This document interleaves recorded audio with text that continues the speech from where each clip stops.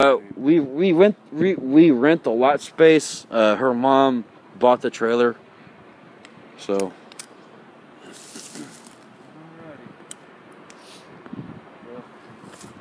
basically what you're telling me is to go over there myself and knock. Uh, it, it's I can do that and get shot. It- it's your agreement. No, I'm gonna do that and get shot. I don't know what these guys have. I don't know what these guys have. I'm gonna go over there and get shot, and you're not gonna help me. Please help me. I'm asking you for your help. Never, never said I wasn't gonna, gonna do that. Well, then please help me. Narrow it, narrow it down instead of just.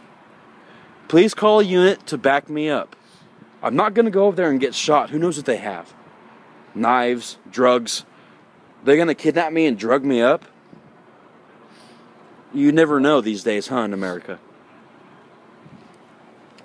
I'm not recording you to insult you. I'm recording you on to protect myself. I'm asking you to call an, to call another unit to get these guys to come out.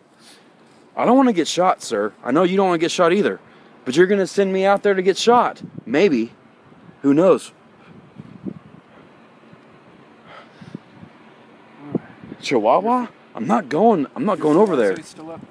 Sorry? Is your fiance still up? No. Talk to her about what's going on.